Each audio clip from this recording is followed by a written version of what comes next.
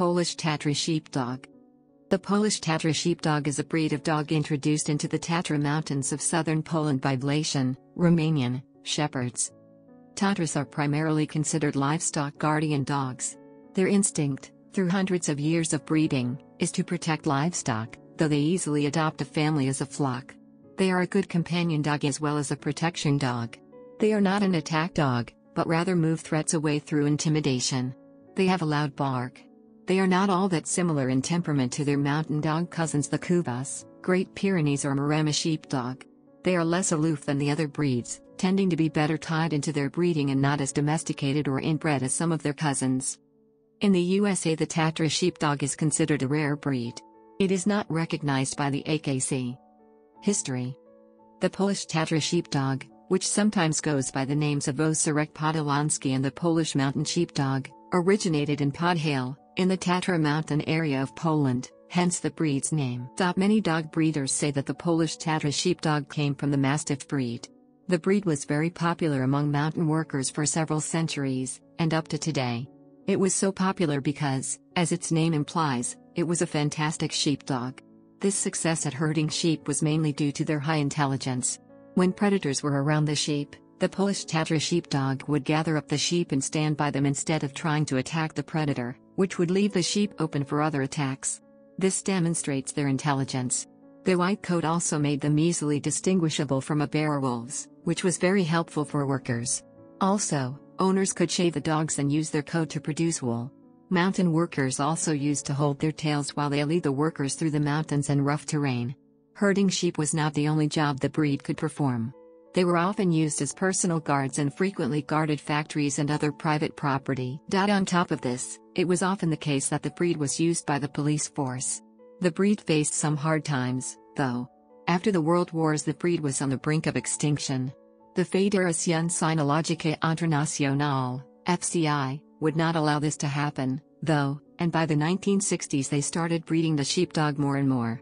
Centuries ago, as their reputation as excellent sheepdogs spread, the breed spread slowly across Europe, but in 1980, an American Foreign Service officer enjoyed the breed so much that he had three of them shipped to America, and by 1981 the breed also spread to Canada. The breed today. Even though being bred more frequently, the Polish Tatra sheepdog is a very rare breed. There are about 7,500 dogs of this breed in the world right now registered on http www.oserekpodhalański.eu slash.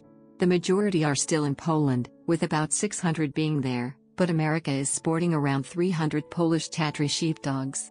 In other European countries, such as France, the breed is growing in popularity, as in 2003 there were 150 births there. The Netherlands now has a booming breeding business for Tatras. About 150 of them are still used for herding. Appearance The average height for males is 65 to 70 centimeters, 26 to 28 in, while for females it is 60 to 65 centimeters, 24 to 26 in. Their signature would be their massive pure white double coat. The coat is wavy with a curly top. Health the Polish Tatra sheepdog is generally a very healthy dog with very few health risks. The average life expectancy for this breed is usually 10 to 12 years old. As with most large breed dogs, the Polish Tatra sheepdog can occasionally get hip dysplasia. Temperament A lot of today's Polish Tatra sheepdog's behaviors and qualities can be traced back to its use of guarding.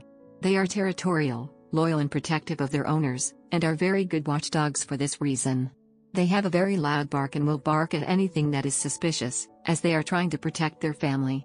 Since they were trained to be cautious and not attack until completely necessary when predators were around sheep, the Polish Tatra sheepdog will not bite a stranger or other animals unless continuously provoked, leading them to be considered very dog and animal friendly. From thousands of years of guarding sheep, they are very intelligent, calm, and independent.